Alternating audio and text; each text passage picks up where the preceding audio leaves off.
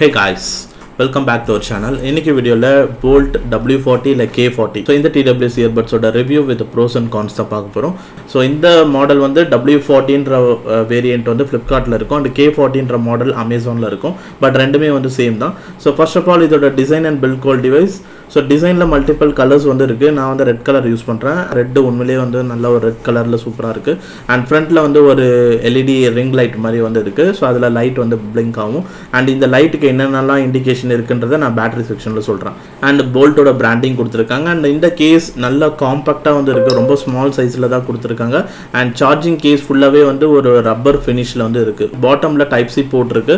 And once case open பண்ணிங்கன்னா இயர்பட்ஸும் வந்து அந்த இயர்பட்ஸோட ஸ்டெம்மும் வந்து ஒரு ரப்பர் ஃபினிஷ் மாதிரி இருக்குது ஆனால் வந்து ம- உள்ள வந்து ஒரு பிளாக் கலரில் இருக்குது ஒரு டோல் டோன் டிசைன் மாதிரி இருக்குது ரெட் வித் பிளாக்ல நல்லா இருக்குது டிசைன் ஓவராலாக இதோட டிசைன் நல்லதாக இருக்குது அண்ட் பில்ட் குவாலிட்டி வைஸ் இதை நான் ஒரு ட்ராப் டெஸ்ட்லாம் பண்ணி பார்த்தேன். ஒரு டேபிள்லேருந்து கீழே விண்டா எப்படி இருக்கு இருக்குன்ட்டு. ரெண்டு டைம் கீழே போடும்போது ஃபர்ஸ்ட் டைம் மட்டும் உங்களுக்கு கேஸ் டோர் ஓப்பன் ஆகல. செகண்ட் டைம் தான் வந்து கேஸ் டோர் வந்து ஆக்சுவலாக ஓப்பன் ஆச்சு. பட் இருந்தாலும் வந்து இயர்பட்ஸ் வந்து கேஸ்க்குள்ளே தான் இருந்தது. இயர்பட்ஸ் கேஸ்லேருந்து வெளியே வந்து செதறி போல. அண்ட் இந்த இயர்பட்ஸ் ஸ்டெம் டைப் டிசைனில் பில்ட் பண்ணியிருக்காங்க. இந்த வியரிங் வைஸ் ஒன்றும் பெருசாக வந்து இஷ்யூஸ் வந்து கிடையாது. ஸோ எல்லா டைம்லையும் வியரிங் கம்ஃபர்டபுளாக தான் இருந்தது. ரொம்ப இயர் பெயின் அந்த மாதிரி எதுவும் கிடையாது. ஸோ ஈவன் இப்போ நான் வந்து இப்போ இயர்பட்ஸ் வியர் பண்ணியிருக்கேன்.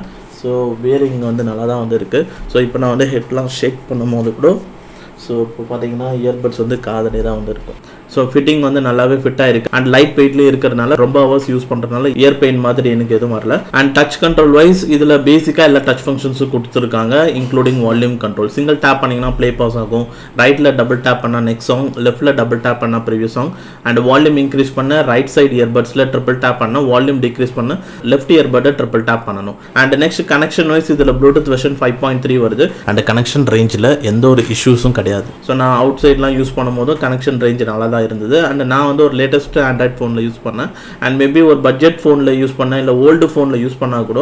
ஸோ உங்களுக்கு ஃபோன் வந்து ஆல்வேஸ் உங்கள் கிட்ட தான் இருக்கும் அப்படின்னும் போது connection range within the room கரெக்டாக தான் இருக்கும். And next music experience wise இதில் தேர்ட்டின் எம்எம் பூமெக்ஸ் டிரைவர் கொடுத்துருக்கிறதா சொல்லியிருக்காங்க. ஓவராலாக இதில் ஒரு டிசன் குட் மியூசிக் எக்ஸ்பீரியன்ஸ் இருக்கும். ஸோ மெயினாக சவுண்ட்ஸ் வந்து ஒரு நல்ல ஒரு ஹை சவுண்ட்ஸ் இருக்குது பட் ரொம்ப வெரி ஹை சவுண்ட்ஸ் கிடையாது.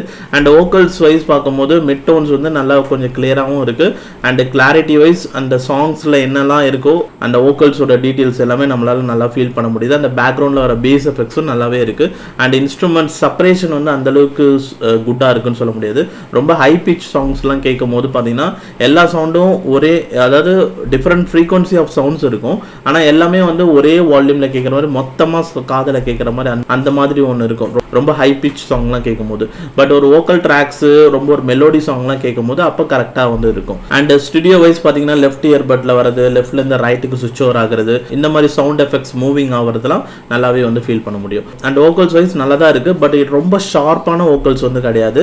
அண்ட் அதே மாதிரி வால்யூம் வைஸும் ரொம்ப ஹெவி வால்யூம் கிடையாது. அந்த பேஸும் வந்து ரொம்ப வந்து டெப்த் வந்து அதிகமாக ரொம்ப பஞ்சி பேஸ் மாதிரி கிடையாது. காலிங் வைஸ் பார்த்தீங்கன்னா நான் இண்டோரில் கால் பேசும்போது எந்த ஒரு நாய்ஸும் இல்லை அப்படின்னும் போது நல்லா கால்ஸ் வந்து பேச முடியும்.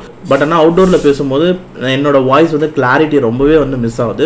ஸோ ஒரு ஆவரேஜான ஒரு காலிங் எக்ஸ்பீரியன்ஸ் தான் இருக்கும் அவுட்டோர் வைஸ் ஸோ நீங்கள் பேசுறது ஓரளவுக்கு நீங்கள் ஆப்போசிட்டில் இருக்கிறவங்களுக்கு கம்யூனிகேட் பண்ணலாமே தவிர பட் ஆனால் உங்கள் வாய்ஸ் வந்து ரொம்ப குவாலிட்டியாக கிளாரிட்டியெல்லாம் வந்து இருக்காது. கொஞ்சம் டிஸ்டர்பிங்காக அண்ட் ஆவரேஜான கிளாரிட்டி தான் இருக்கும். ரொம்ப பேக்ரவுண்ட் நாய்ஸ்லேருந்து பேசுனீங்கன்னா.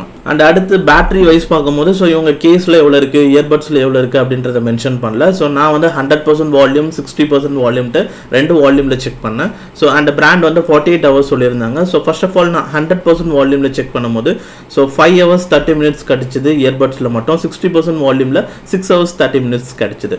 And total play time hours பார்த்தீங்கன்னா ஹண்ட்ரட் பர்சன்ட் வால்யூமில் தான் எப்போவுமே கேட்பீங்கன்னா அப்போ டுவெண்ட்டி ஃபோர் ஹவர்ஸ் கிடைக்கும். அண்ட் சிக்ஸ்டி பர்சன்ட் வால்யூமில் தான் எப்போவுமே கேட்பீங்கன்னா அப்போ twenty nine point five hours வந்து உங்களுக்கு கிடைக்கும். அண்ட் அதே மாதிரி ரெண்டு இயர்பட்ஸும் ஒன்றா எடுத்து நீங்கள் வியர் பண்ணி கேட்கும் போதும் லாஸ்ட்டில் வந்து பார்த்தீங்கன்னா ஃபஸ்ட்டு ரைட் இயர்பட்ஸ் ஆஃப் ஆகிடும் அண்ட் லெஃப்ட் இயர்பட்ஸ் ஆஃப் ஆகிறதுக்கு ஒரு தேர்ட்டிலேருந்து ஒன் ஹவர் ஆகும். அது பேஸ்டாக நீங்கள் என்ன வால்யூமில் கேட்குறீங்கன்ற பொறுத்து. இப்போ எக்ஸாம்பிளுக்கு நீங்கள் ஹண்ட்ரட் பர்சன்ட் வால்யூமில் கேட்டிங்கன்னா ஒரு தேர்ட்டி மினிட்ஸ் கழிச்சு தான் லெஃப்ட் இயர்பட் ஆஃப் ஆகும். ஆனால் ரைட் இயர்பட்ஸ் முன்னாடியே ஆஃப் ஆகிட்டு இருக்கும். சிக்ஸ்டி பர்சன்ட் வால்யூமில் கேட்குறீங்கன்னா ஃபஸ்ட்டு ரைட் இயர்பட் ஆஃப் ஆகிடும் அதுக்கப்புறம் ஒரு ஒன் ஹவருக்கு அப்புறமா தான் லெஃப்ட் இயர்பட் வந்து ஆஃப் ஆகும். ஸோ அந்த லெஃப்ட் அண்ட் ரைட் இயர்பட்ஸில் ரெண்டும் ஒன்றா ஆஃப் ஆகாது. கொஞ்சம் வந்து டிஃப்ரென்ஸ் வந்து இருக்குது அண்ட் நெக்ஸ்ட் வந்து charging time wise case and earbuds ரெண்டுமே நான் ஜீரோ பர்சன்ட்லேருந்து ஹண்ட்ரட் பர்சன்ட் சார்ஜ் பண்ணுறதுக்கு த்ரீ ஹவர்ஸ்க்கு மேலே ஆகுது. அண்ட் ப்ளஸ் இதில் இண்டிகேஷன் இருக்குது டியூரிங் சார்ஜிங் அப்போ அந்த ஒரு ரிங் லைட் மாதிரி இருக்குது பார்த்தீங்களா அது ஒயிட்டாக எல்லோவாக தெரியல. அது பிளிங்க் ஆகிட்டே இருக்கும். பிளிங்க் ஆகிட்டே இருக்குன்னா சார்ஜ் ஆகுதுன்னு அர்த்தம். ஒன்ஸ் பிளிங்க் ஆகாமல் கான்ஸ்டண்ட்டாக எரிஞ்சுது அப்படின்னா சார்ஜ் கம்ப்ளீட் ஆயிடுச்சுன்னு அர்த்தம். அண்ட் அந்த கான்ஸ்டண்ட்டாக எரியிற அந்த அந்த நோட்டிஃபிகேஷன் வந்து ஒரு த்ரீ ஹவர்ஸ் கிட்ட வரும்போது தான் கிடச்சிது. அண்ட் ஏன்னா இதில் டிஜிட்டல் இண்டிகேட்டர் மாதிரி எதுவும் கிடையாது. அண்ட் ஸ்பெஷலாக ஆப் சப்போர்ட் கிடையாதுன்றதுனால ஸோ நம்மளால் எப்போ தான் அது கம்ப்ளீட் ஆகுன்றதை நம்ம எப்படி ஃபைண்ட் அவுட் பண்ணுறது ஸோ இந்த இண்டிகேஷன் வச்சு தான் ஃபைண்ட் அவுட் பண்ணோம். ஆனால் இந்த இண்டிகேஷன் கிடைக்கிறதுக்கு த்ரீ ஹவர்ஸ் ஆகுது.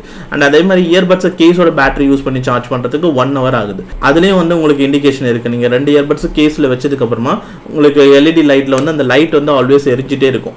எரிஞ்சிக்கிட்டே இருக்குது அப்படின்னா இயர்பட்ஸ் வந்து சார்ஜிங் ஆகிட்டு இருக்குன்னு அர்த்தம். ஒன்ஸ் வந்து லைட் ஆஃப் ஆகிடும் அப்போ சார்ஜ் கம்ப்ளீட் ஆயிடுச்சுன்னு அர்த்தம். அண்ட் பேட்டரி லோன்றதை ஃபைண்ட் அவுட் பண்ணுறது எப்படின்னா நீங்கள் எவ்ரி டைம் இயர்பட்ஸை கேஸில் வைக்கும் போதோ எடுக்கும் போதோ உங்களுக்கு லைட் ஆல்வேஸ் எரிஞ்சிட்டே இருந்ததுன்னா அப்போ பேட்டரி இருக்குன்னு அர்த்தம். சப்போஸ் லைட் வந்து பிளிங்க் ஆச்சு அப்படின்னா அப்போ பேட்டரி லோவாக இருக்குன்னு அர்த்தம் கேஸில் ஓவராலாக இந்த போல்ட் டபிள்யூ ஃபார்ட்டி இல்லை கே ஃபார்ட்டி இந்த டிடபிள்யூஸ் இயர்பட்ஸோட ரிவ்யூ இதுதான். அண்ட் இதோட கான்ஸ் வைஸ் பார்த்தீங்கன்னா ஸோ பேசிக்கில் எது ப்ராப்ளமோ அதான் கான்ஸோ சொல்ல முடியும். அண்ட் இதோட ப்ரைஸ் வந்து மேபி உங்களுக்கு தௌசண்ட் இல்லை தௌசண்ட் கீழே போச்சுன்னா நீங்கள் இந்த ப்ராடக்ட்டை பை பண்ணுறதுக்கு கன்சிடர் பண்ணலாம்.